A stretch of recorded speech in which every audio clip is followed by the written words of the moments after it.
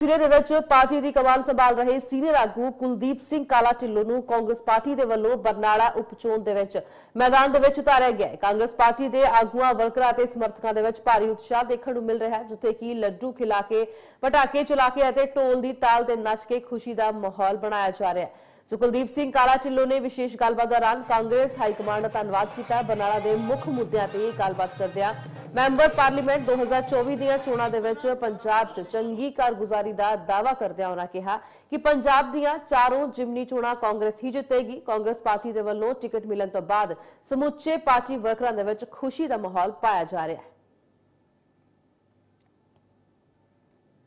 ਤਾਂ ਮੈਂ ਸਾਡੀ ਜਿਹੜੀ ਸਮੁੱਚੀ ਲੀਡਰਸ਼ਿਪ ਆ, ਸਾਡੇ ਪ੍ਰਧਾਨ ਜੀ ਰਾਜਾ ਬੜਿੰਗ ਜੀ ਦਾ, ਸ੍ਰੀ ਪ੍ਰਤਾਪ ਸਿੰਘ ਬਾਜਵਾਈ ਦਾ, ਸ੍ਰੀ ਦਵਿੰਦਰ ਜਾਦਵ ਜੀ ਦਾ ਤੇ ਸਾਡੇ ਜਿੰਨੇ ਵੀ ਪੰਜਾਬ ਦੇ ਜਿਹੜੇ ਸੀਨੀਅਰ ਲੀਡਰਸ਼ਿਪ ਹੈ, ਦਿੱਲੀ ਦੀ ਲੀਡਰਸ਼ਿਪ ਹੈ, ਉਹਨਾਂ ਦਾ ਧੰਨਵਾਦ ਕਰਦਾ ਦਿਲ ਦੀਆਂ ਗਹਿਰਾਈਆਂ ਤੋਂ, ਜਿਨ੍ਹਾਂ ਨੇ ਮੇਰੇ ਤੇ ਭਰੋਸਾ ਪ੍ਰਗਟ ਕਰਕੇ ਮੈਨੂੰ ਇਹ ਜ਼ਿੰਮੇਵਾਰੀ ਸੌਂਪੀ ਹੈ।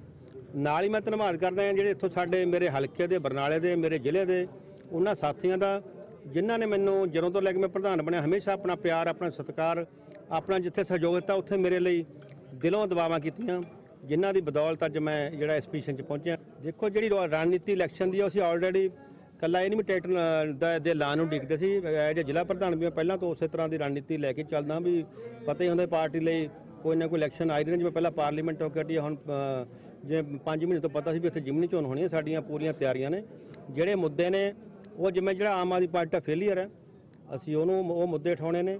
ਜਿਸ ਤਰ੍ਹਾਂ ਉਹਨਾਂ ਨੇ ਲੋਕਾਂ ਦਾ ਸ਼ੋਸ਼ਣ ਕੀਤਾ ਇੱਥੋਂ ਦੇ ਇੱਥੋਂ ਦੇ ਨੌਜਵਾਨ ਦਾ, ਇੱਥੋਂ ਦੇ ਵਪਾਰੀ ਦਾ, ਇੱਥੋਂ ਦੇ ਕਿਸਾਨ ਦਾ, ਇੱਥੋਂ ਦੇ ਮਜ਼ਦੂਰ ਦਾ, ਜਿਨ੍ਹਾਂ ਨੂੰ ਉਹਨਾਂ ਨੇ ਵੱਡੇ ਵੱਡੇ, ਉਹਨਾਂ ਨਾਲ ਵਾਅਦੇ ਕੀਤੇ, ਵੱਡੇ ਵੱਡੇ ਲੋਲੀਪੌਪ ਦਿਖਾਏ। ਉਹਨਾਂ ਦਾ ਸ਼ੋਸ਼ਣ ਹੋਇਆ ਅੱਜ, ਜਿਹੜਾ ਹਰ ਵਰਗ ਨੌਜਵਾਨ, ਚਾਹੇ ਉਹ ਕਿਸਾਨ ਆ, ਚਾਹੇ ਉਹ ਮਹਿਲਾਵਾਂ ਨੇ, ਚਾਹੇ ਉਹ ਵਪਾਰੀ ਨੇ, ਉਹ ਠੱਗਿਆ ਮਹਿਸੂਸ ਕਰ ਰਿਹਾ। ਜੋ ਮੈਂ, ਜੇ ਮੈਨੂੰ ਪ੍ਰਮਾਤਮਾ ਨੇ ਇਹਨਾਂ ਲੋਕਾਂ ਦੀ ਨੁਮਾਇੰਦਗੀ ਕਰਨ ਦਾ ਮੌਕਾ ਦਿੱਤਾ, ਇਹਨਾਂ ਦੀ ਸੇਵਾ ਕਰਨ ਦਾ ਮੌਕਾ ਦਿੱਤਾ, ਤਾਂ ਜਿਹੜੇ ਉਹ ਮੁੱਦੇ ਆ, ਉਹਨੂੰ ਮੈਂ ਬਾਖੂਬੀ ਨਿਭਾਵਾਂਗਾ। ਔਰ ਇੱਥੋਂ ਦੇ ਲੋਕਾਂ ਦੀ ਜਿਹੜਾ ਜੀਵਨ ਪੱਧਰ ਕਿਵੇਂ ਸੁ- ਸੁਧਾਰ ਸਕਦਾ ਉਹਨਾਂ ਦੇ ਕਾਰੋਬਾਰ ਦੇ ਵਿੱਚ ਜਿਹੜੀਆਂ ਉਹਨਾਂ ਦੀਆਂ ਮੁਸ਼ਕਲਾਂ ਨੇ ਉਹਨਾਂ ਨੂੰ ਮੈਂ ਕਿਵੇਂ ਹੱਲ ਕਰਾ ਸਕਦਾ? ਪ੍ਰਾਪਰਟੀ ਡੀਲਰ ਵੀ ਸੜਕਾਂ ਤੇ ਫਿਰਦੇ ਨੇ ਮੁਲਾਜ਼ਮ ਵੀ ਸੜਕਾਂ ਤੇ ਫਿਰਦੇ ਨੇ ਕਿਸਾਨ ਵੀ ਸੜਕਾਂ ਤੇ ਅ, ਵਾਲੇ ਵੀ ਹਰ ਵਰਗ ਆ ਜਿਹੜਾ ਉਹ ਸੜਕਾਂ 'ਤੇ ਤੁਰਿਆ ਫਿਰਦਾ। ਜਿਹੜੇ EMPLOYEES ਨੇ ਚਾਹੇ ਉਹ ਕਿਸੇ ਵੀ ਡਿਪਾਰਟਮੈਂਟ ਦੇ ਨੇ ਉਹ ਦੁੱਖ ਮਤਲਬ ਬੇਹੱਦ ਦੁਖੀ ਨੇ ਤੇ ਇੱਕ ਤਰ੍ਹਾਂ ਦੀ ਅਰਾਜਕਤਾ ਫੈਲੀ ਪਈ ਆ। ਉਹਨਾਂ ਸਾਰੀਆਂ ਗੱਲਾਂ ਨੂੰ ਲੈ ਕੇ ਅਸੀਂ ਆਵਾਂਗੇ ਮੈਦਾਨ ਦੇ ਵਿੱਚ ਔਰ ਲੋਕਾਂ ਨੂੰ ਭਰੋਸਾ ਦਿੰਨਾ ਮੈਂ ਵੀ ਉਹਨਾਂ ਦੀ ਲੜਾਈ